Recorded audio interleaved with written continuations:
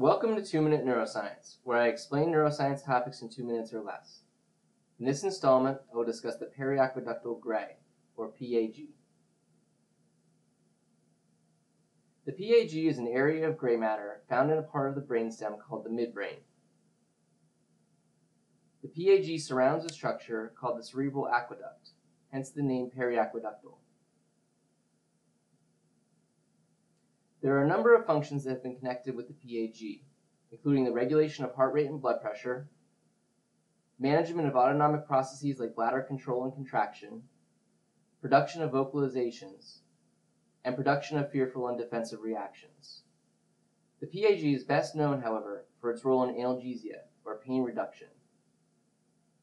Since the 1960s, the PAG has been known to play a role in analgesia, and stimulation of the PAG has been observed to inhibit pain in both rodents and humans.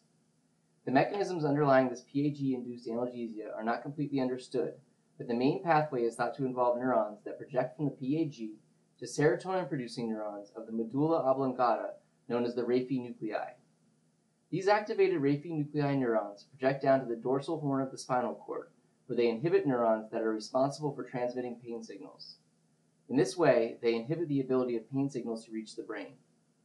Through this pathway, the PAG is thought to be able to inhibit pain naturally, a phenomenon that may occur, for example, in situations of extreme stress, like that experienced by soldiers in battle. The pathway may also be involved in analgesia that occurs as part of the placebo effect, or in other scenarios where we experience a capacity to control pain through top-down mechanisms.